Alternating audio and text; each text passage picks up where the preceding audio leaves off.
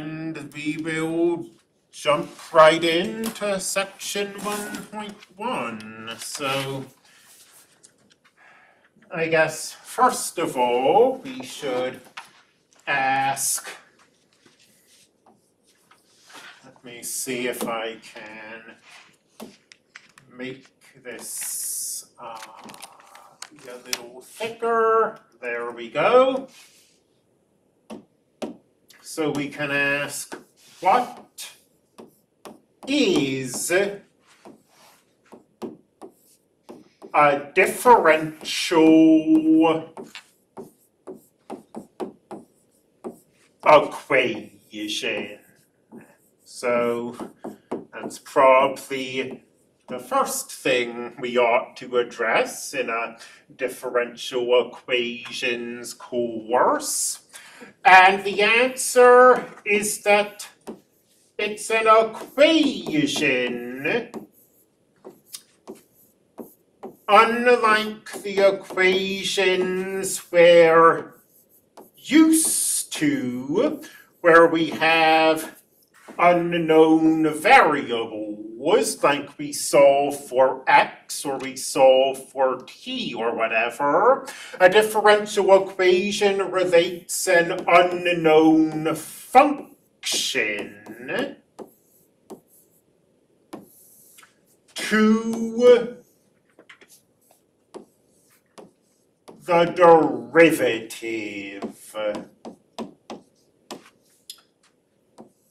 of the function. So for example,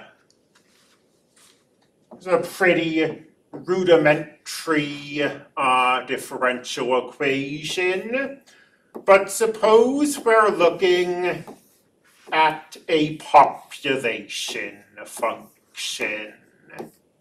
So we've got some function p of t, population is changing with time.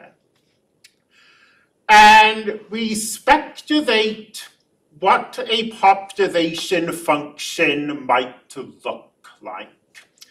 And maybe we decide that we think a population function should satisfy the equation the derivative of the population with respect to time equals, that's, that's three is big, equals one point zero one seven times the current population. Something like this might be a reasonably realistic thing to expect if there aren't limited resources you have to worry about. Because what this equation is telling you is that the rate of change, so the rate at which the population is increasing, is a constant times the current population. And that makes a certain amount of sense, you know? If they're looking at an animal population, the more animals there already are, the more animals there are to breed, and the quicker the population should increase. So you might expect that an animal population will satisfy some relation like this. And this is an example of a differential equation. You've got this unknown function, p of t, and you've got the derivative of that function, and a relationship between the derivative and the unknown function. So this is a pretty elementary example, but an example nevertheless of a differential equation. And in fact, differential equations that look like this dy dt equals k times y are fairly common. So I called it kind of elementary, but that's not the same as being unimportant. You see equations like this anytime um, anytime the rate of change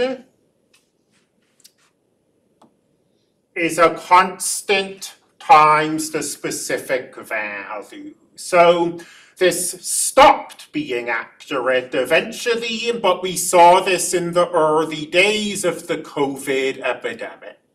Um, a very similar logic to the reasoning we gave here. The more people are already sick, the more people there are to transmit the disease, and the faster other people therefore get sick. You can see it um, with the spread of a rumor. The more people have heard of a rumor, the more people are spreading the rumor, so the faster the rumor spreads. Situations like that.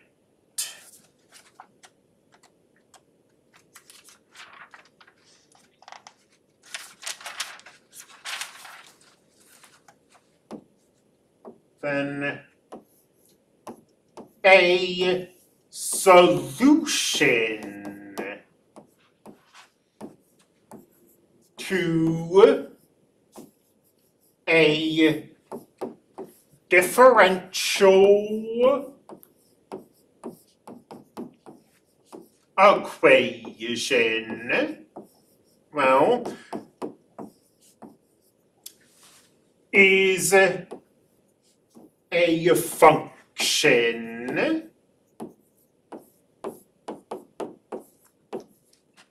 That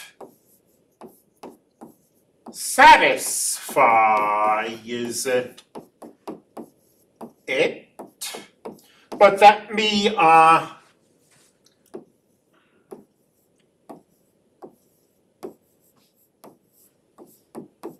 let me qualify that statement a little. A solution to a differential equation is a function. I mean, here, this is a differential equation. A solution is a function, whatever this p of t is. Um, the function has to satisfy the differential equation on some interval. So it might not satisfy the differential equation everywhere, but it has to on an interval. So as a quick example of that, say that we have dy dx equals 2 times x times y. Now differential equations, the notation can be a little confusing when you first see it. So here, y is a function of x right? We're taking the derivative of the function y with respect to x. But we don't use function notation. I mean, you look at this x and you look at this y and they look like they're the same. They look like they're both variables. So that can be a little confusing, but it's unfortunately very standard at this point.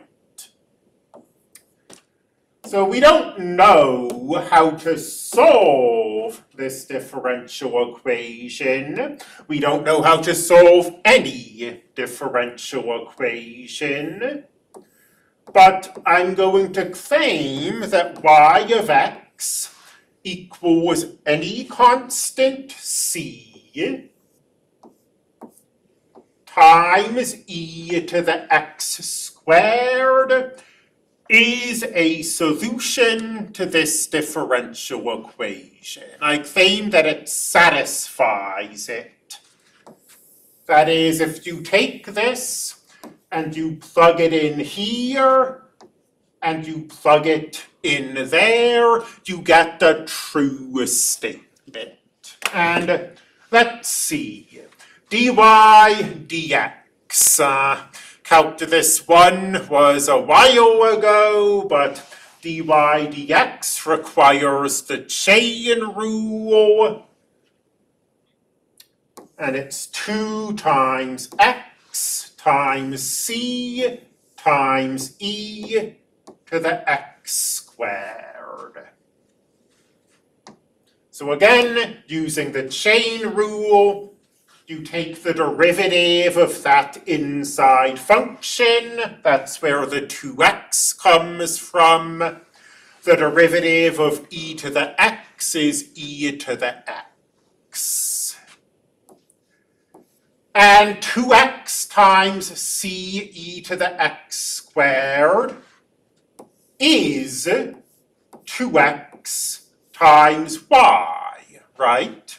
Because y is c e to the x squared. So this function y satisfies that differential equation in the sense that when we plug it into the differential equation, we get a true statement.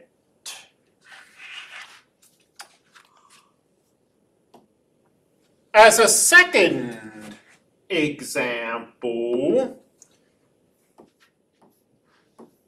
here x will be the name of our function, t will be the name of our variable. That's another thing that students don't tend to be used to coming into differential equations. We, it's basically always been y is the name of our function, but in differential equations, we often use x. And we can look at the differential equation dx dt equals x squared. And we can make the observation that x equals c divided by 1 minus c times t is a solution to this differential equation. Again, the question of where this solution comes from is one we are not prepared to answer at this point in time. But dx dt, if we use the quotient rule, the derivative of the top is zero times the bottom minus the top times the derivative of the bottom all divided by the bottom squared. So that's c squared over 1 minus ct squared. And then a square divided by a square can be rewritten as a single square. And C divided by 1 minus CT is X. So this is X squared. So dx dt does indeed equal X squared. This is a solution to this differential equation. However, a difference between this example and the previous example. In this previous example, x could be any value. This is true on the entire real number line. Here, t cannot be any value. Some values of t will give you a division by zero error. So this is true. There's no real uh, space to write. Let me scroll that up there. Then erase that. And then section that off. This is true on an interval. It's true on the interval 1 over c to infinity. And it's true on the interval negative infinity to 1 over c.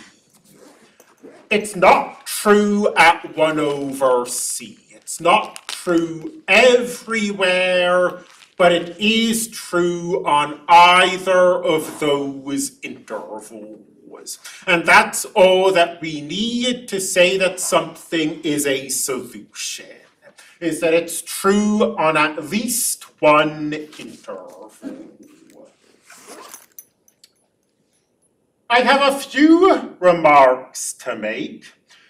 Notice that in both of this example and the previous example, I've talked sort of about loosely about this is a solution. Um, y equals c times e to the x squared is really an infinite class of solutions, right? Because c is a constant, it could be anything. So y equals 3 e to the x squared is a solution y equals 2 e to the x squared is also a solution. So there are an infinite number of solutions here. There are also an infinite number of solutions here. Precisely the same idea. Every value of c gives you a different solution. So in general,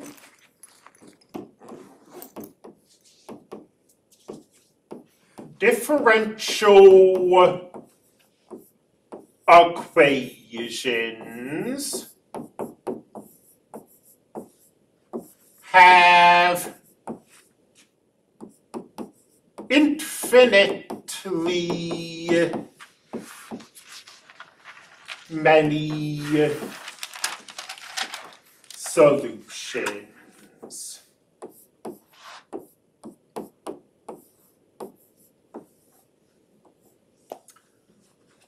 Um, in general, it's very easy. I mean, it's very easy to write down a differential equation that doesn't have any solutions. So, I mean, this is a pretty, this is a pretty inane example, but dx dt squared plus 5 equals 0. A differential equation with no solutions. just because this square is always positive, and a positive quantity plus 5 can't be 0. But in practice, this isn't stuff like this isn't going to worry us. We're going to be looking at differential equations that have solutions, and those will have infinitely many solutions. There's a caveat to that statement. It's a true statement, but most real world. Differential equations.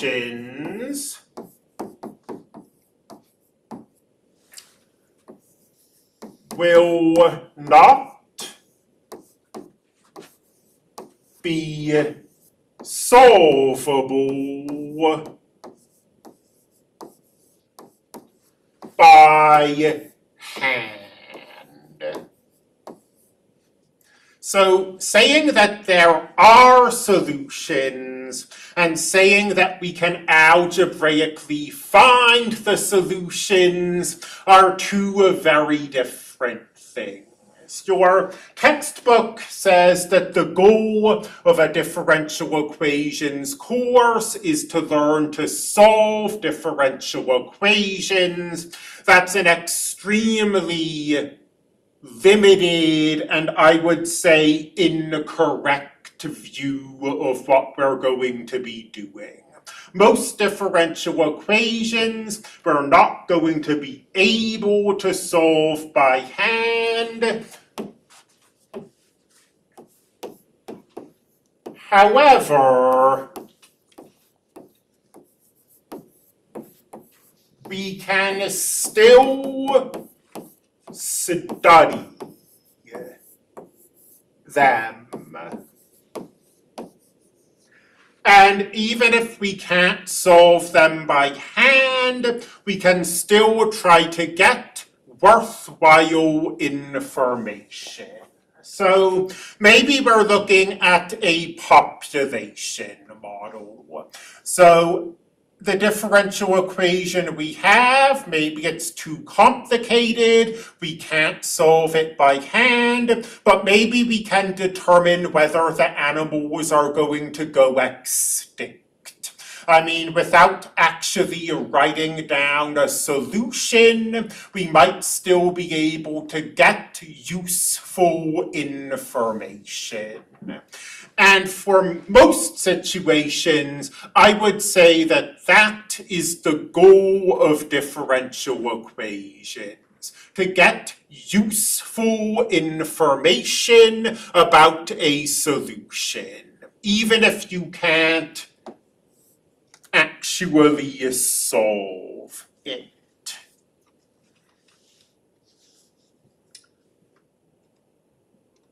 And now, another definition. This also relates to the statement I made here that um, most differential equations will have infinitely many solutions. So I made the caveat that having infinitely many solutions doesn't mean we'll be able to actually write them down. Now let's make another caveat or another definition at least. An initial value problem is a differential equation. Thus, some kind of data about the function. So, for example, uh, maybe we know that when x equals zero, y equals So we're given a differential equation, and then we're given some piece of information like this. Unlike differential equations, which have infinitely many solutions, initial value problems should just have one solution. The solution should be unique. So let's go back to this and let's erase some stuff.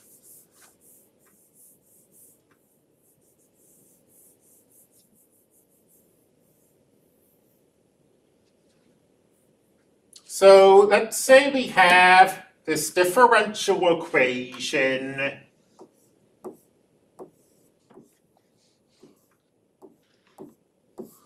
And now let's give that piece of data that x of 0 equals 1.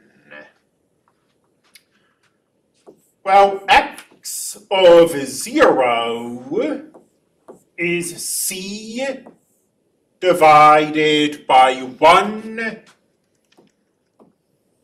minus 0 if x of 0 is supposed to equal 1, this lets us solve for c. This lets us find that c equals 1. And now, our differential equation had infinitely many solutions, one for every different value of c. But this initial value collapsed that down, and now we have only one solution. x equals 1 divided by 1 minus. Um, initial values, by far the most common initial value is what is this function doing at zero? That's the that's where the word initial comes from. But it doesn't have to be that. We could have x we could have say x of three equals one. And then that would say that c divided by one minus three c equals one. And we could then solve this for c. Multiply both sides by the denominator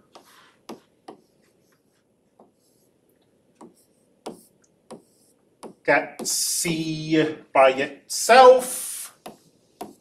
C has to equal one fourth if we want x of 3 to be 1. So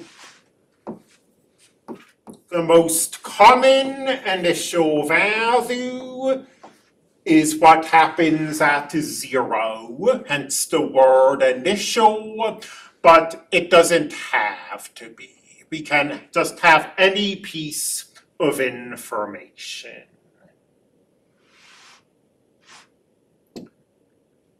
So, is everybody with me so far? Does anybody have any questions at this point?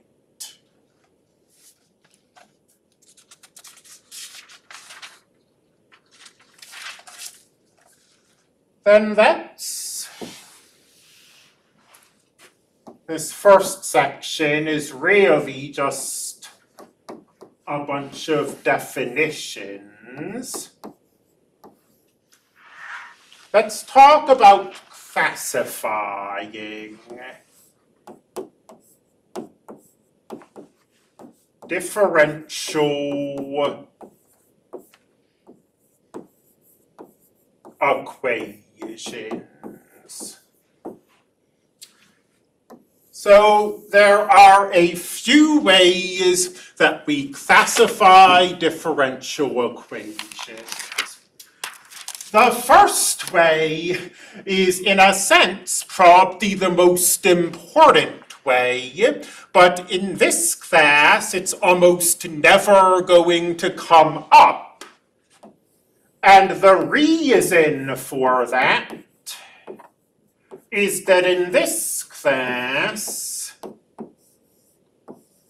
we are only going to work with what we call ordinary differential equations.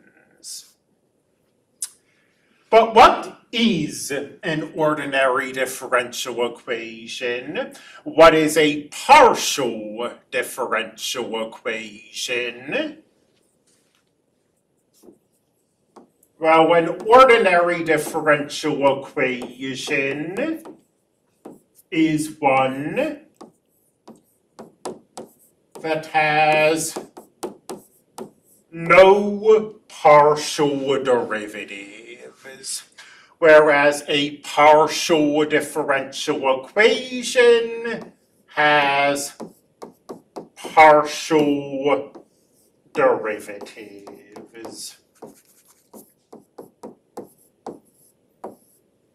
And I mean, I know at least some of you took Calc 3 last semester. Calc 3 is not a prerequisite for this course, precisely because we don't work with partial derivatives in this course. We just work with the kind of derivatives we saw in Calculus 1.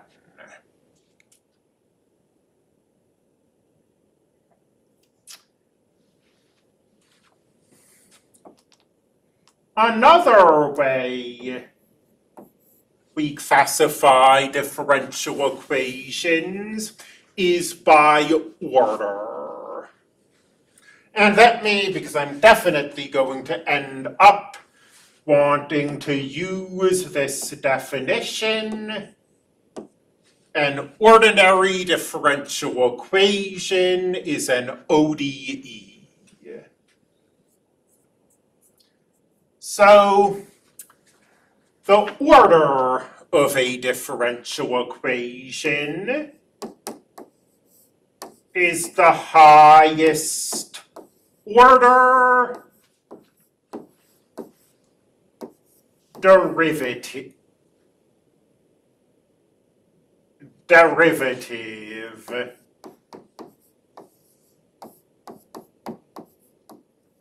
that appears in it.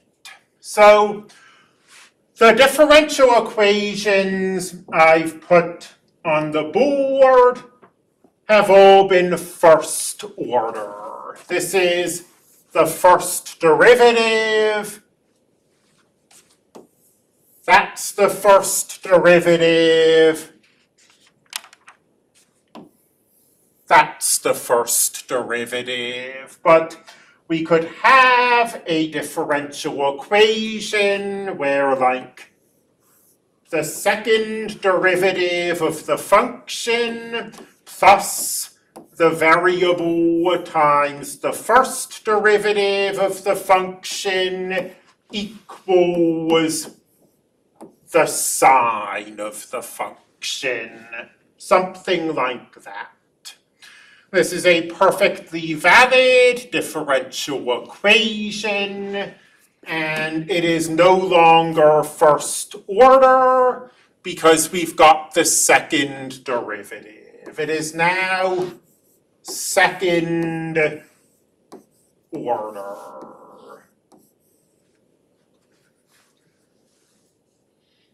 Uh, make sure not to confuse orders with power if we added a y to the fifth, this is still a second order differential equation.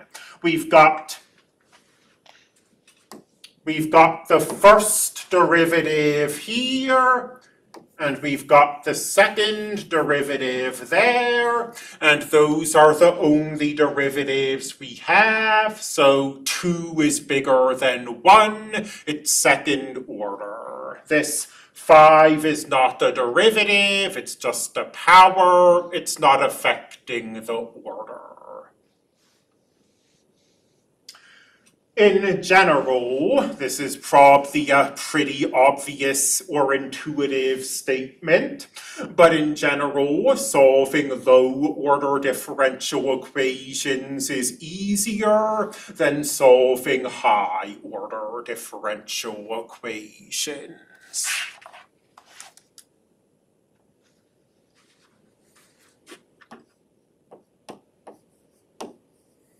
Finally, a differential equation can be linear or non-linear. So let's be explicit here. Y is our function, X is our variable. A linear differential equation has the form. It sort of looks like a polynomial, I guess. A function of x times our unknown function y differentiated some number of times. Thus, another function of x times our unknown function y differentiated n minus 1 times. Thus, as I say, this is a very polynomial looking thing.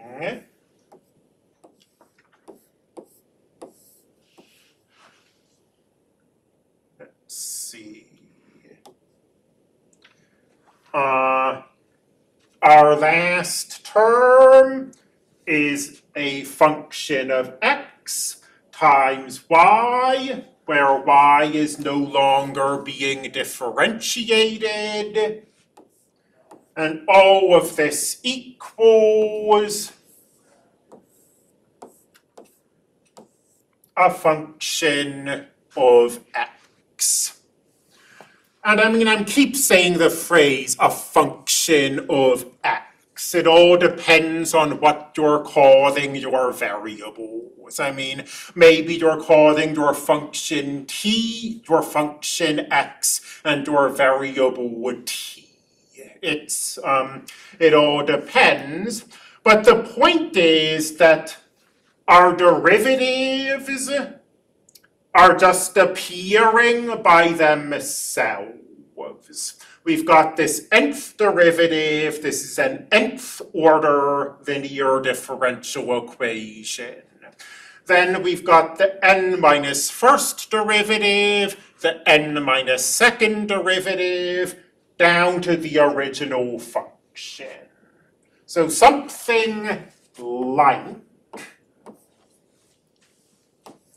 the natural log of x times the second derivative of y plus 3 times the first derivative of y plus 1 over x times y by itself equals the cosine of x. This is an example of a linear differential equation. An example of a non-linear differential equation would be if instead of the natural log of x, you had the natural log of y there.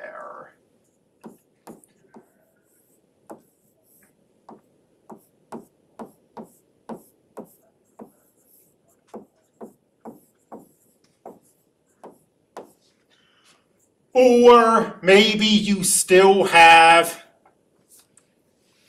maybe you keep the natural log of x, but instead of the cosine of x on the right, you have the cosine of y. That's a nonlinear differential equation. Um,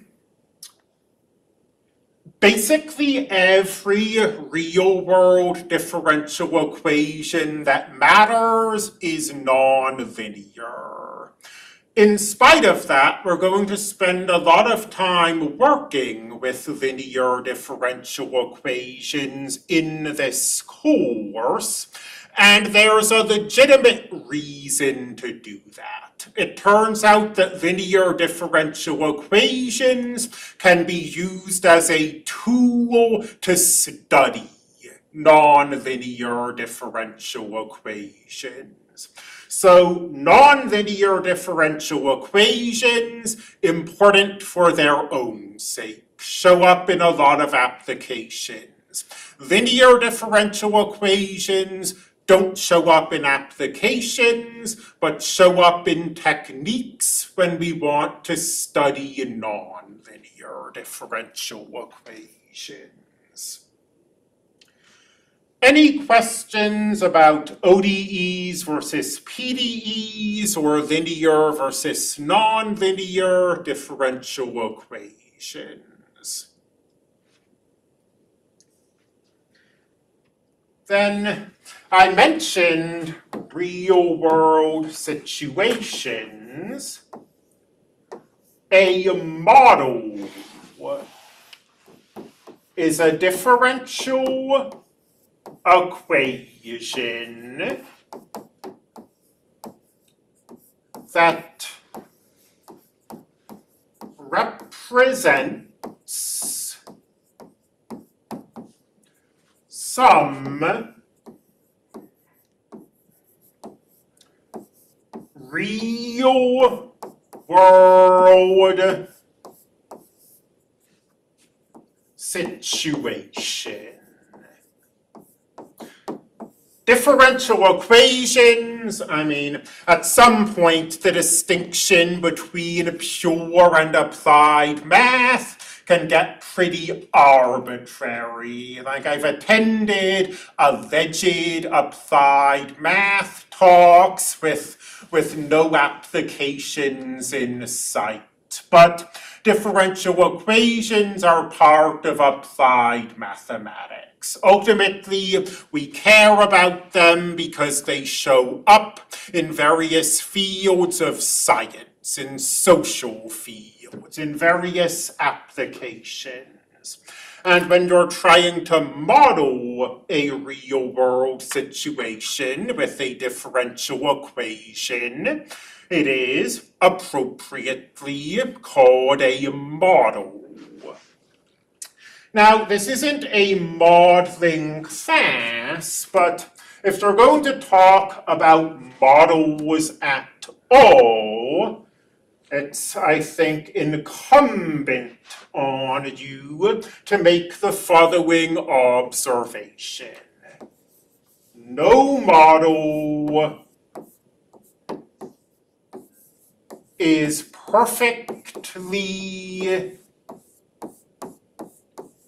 accurate.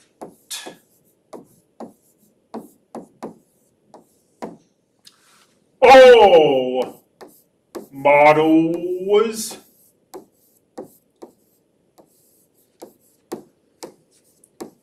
are based on incorrect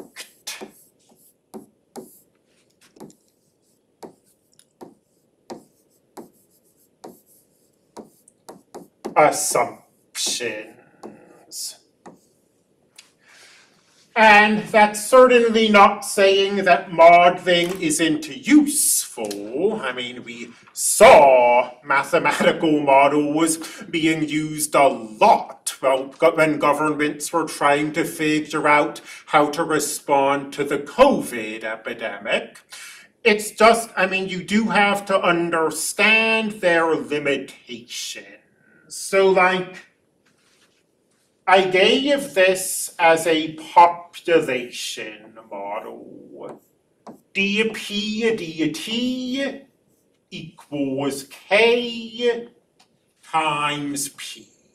There's a, um, I had some number in for k, one point something, but this is a model for population growth. This is a very simple model and this very simple model carries with it the following assumption.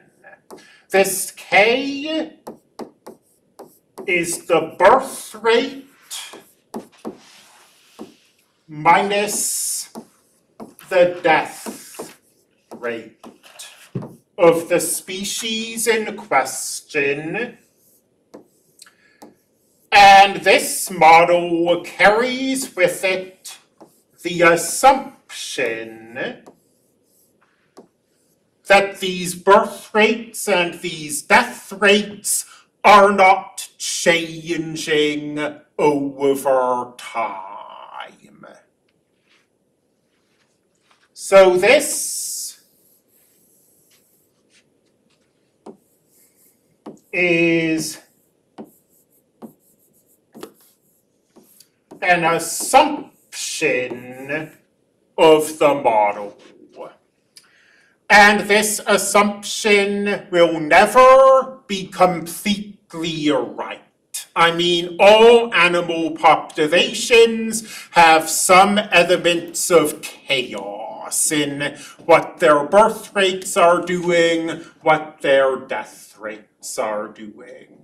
That doesn't mean this model was worthless this model can be used in situations where there are not limited resources. Like if you take a bacteria and you put it into a resource-rich medium and you just let the bacteria population grow, it will grow more or less according to this model for a while after a while, the bacteria will have grown about as big as it can grow. Its birth rate will shrink. And this assumption that the birth rate doesn't change stops being accurate, so this model stops being useful.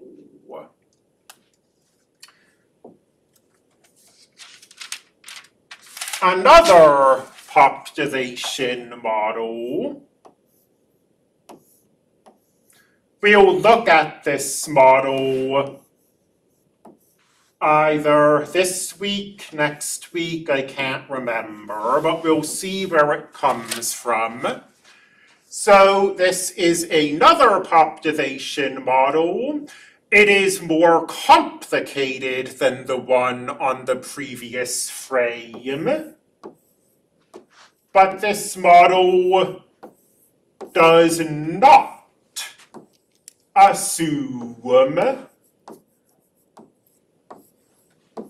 that the birth rate and death rate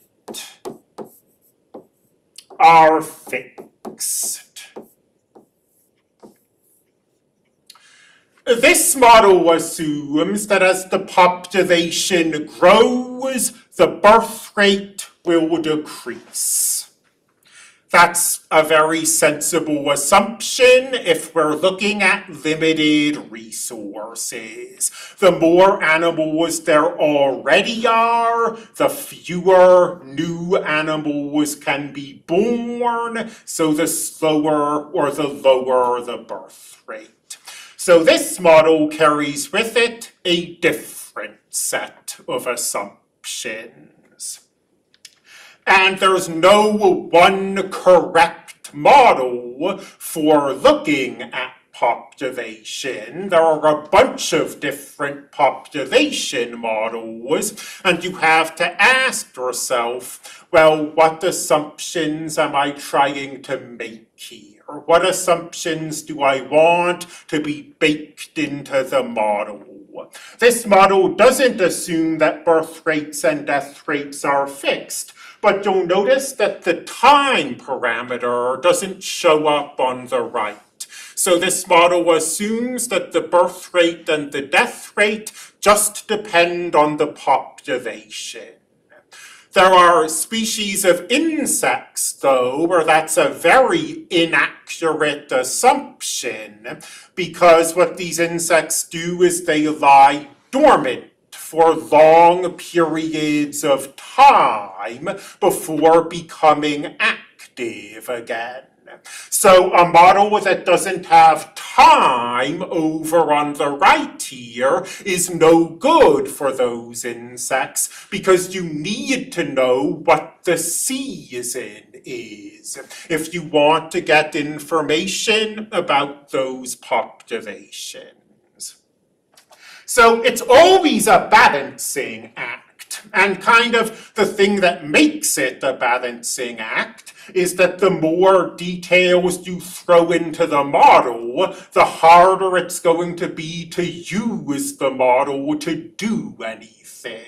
I, uh, my, my graduate degree, I was doing math biology. I was looking at models of yeast. And I mean, I found this research group that tried to perfectly model the growth of a yeast cell. And it had hundreds of equations and hundreds of variables. And what is anybody supposed to do with something like that? It was very accurate, maybe, but also completely impossible to study. So people who do this stuff professionally have to try to balance those things. They need to try to create models that are accurate enough to make useful predictions, but not so complicated that nobody can study them or do anything with them. That takes us more or less to the end of um, our class time, and it takes us to the end of section 1.1. So that seems like a sensible place to call this. I will see all of you Thursday. It's um, nice to meet you, the three familiar faces. It's nice to see all of you again.